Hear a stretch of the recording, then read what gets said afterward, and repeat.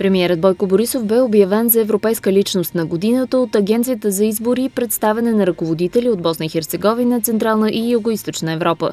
Борисов беше награден заради личното му ангажиране с економическото сътрудничество в региона. Церемонията се състоя при откриването на бизнес форум в Сараево. В изказването си премиерът подчерта, че ангажиментът на политиците към бизнеса е инвестициите им да са сигурни, а данъчните системи прогнозируеми. Политическите елити трябва да мислят само за едно – и това го казвам тук при вас. За мира и етническата толерантност. Иначе няма бизнес. Другите основни предпоставки за развитие на страните от Балканския полуостров са изграждането и свързването на транспортната и дигитална инфраструктура. Печатница за пари ще бъде това за Балканите. В момента, в който изградиме инфраструктура. Печатница.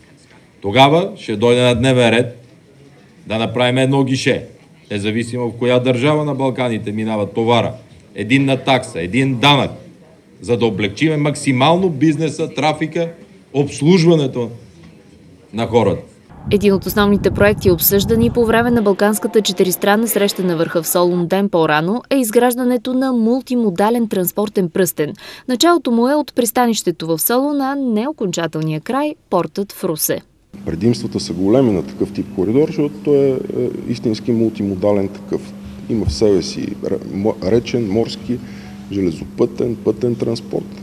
Това, което липсва към момента, е участъка Александрополис българската граница. Ние на Свиленград имаме изградена оперативна съвместимост железопътна с Гърция и с Турция. Освен транспортната връзка между Александрополис и Свиленград, ще има и оптична и газова. България и Гърция имат подписан меморандум за развитието на целия мултимодален коридор. Престои до септември транспортните министри на двете страни да излязат с конкретни разчети за реализирането му и да се намери финансиране. По групи сметки, изграждането на пристанищната и другата пътна инфраструктура на българска територия ще струва около 1 милиард и 500 милиона лева.